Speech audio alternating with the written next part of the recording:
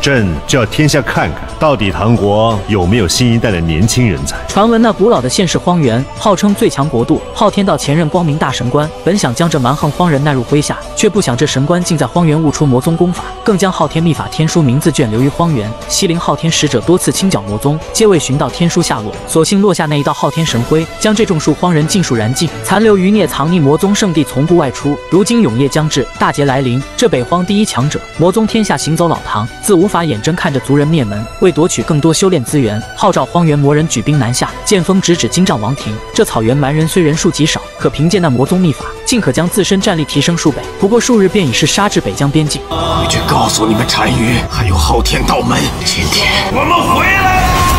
这西陵天域大神官绝世有蹊跷，消耗寿元窥探未来，竟发现那天书名字卷正藏于魔宗圣地。此消息一出，天下皆为震荡。传闻若能集齐七部天书，便可取代昊天，成为世间新的神。各大势力纷纷派出自家青年才俊前往北荒剿灭魔人，实则皆想暗度陈仓，夺取天书。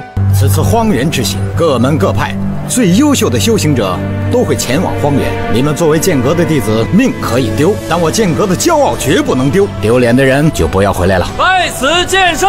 南境剑阁以成功学激励众人，这墨池院的院长则是给莫珊珊一张地图，此乃宗门开山鼻祖留下的魔宗山门落位，只希望这门下最骄傲的弟子能成功夺魁。西陵神殿对这天书更是势在必得，明面上派出这隆庆皇子带队北荒，背地里却让那道赤夜红雨隐匿，暗中随时出手。消息传至唐王手中，这唐王本是不愿参与这教派之争，可就是看不得各派青年斗艳。朕就要天下看看，到底唐国有没有新一代的年轻人才。却不想这唐王竟是要书院派队前往，众人心中一惊。这新一届的学子皆才入门，哪里能堪此重任？不还是有十三先生吗？去荒原，我我领队。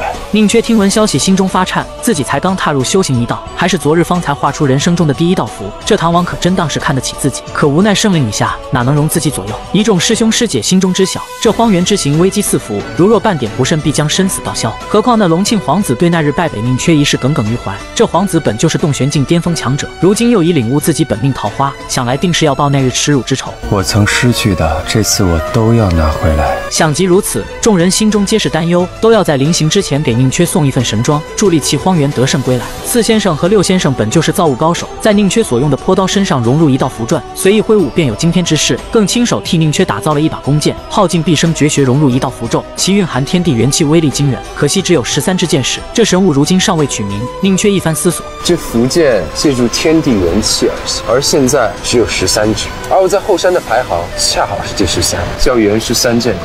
好，三师姐于连娇与其一枚玉扳指，告诫宁缺一入荒原立即带上。殊不知此物竟是魔宗宗主信物，可见这师姐对宁缺有多疼爱。老九老师给了宁缺一个音乐盒，长路漫漫，总有寂寞时分，心中烦闷便可打开。七师姐给了宁缺一块手帕，宁缺虽心中不解，可七师姐乃是阵法大家，这手帕想来定有玄机。臭小子，到时候你就知道七师姐的厉害了。五师兄与八师兄替宁缺绘制了一张棋盘，倘若走投无路，下上一盘棋或可轻免。十一师兄给了宁缺一个小药瓶，跌打损伤可有其用。唯有这十二师兄陈皮皮送的礼物最为惊人，两张必胜大饼，一坨黑黝黝的药膏。这个东西你可得放好了，你吃之前千万别沾水啊，关键时刻。能救你的命。宁缺心中大为感动，一一拜别一众师兄，随后来到师傅颜色身旁，就看颜色一番沉重交代之后，塞给宁缺一个锦囊。我猜这道符是您竭尽全力想保住徒弟的小命。打不赢，想办法打赢；实在打不赢，想办法逃命，留着命回来。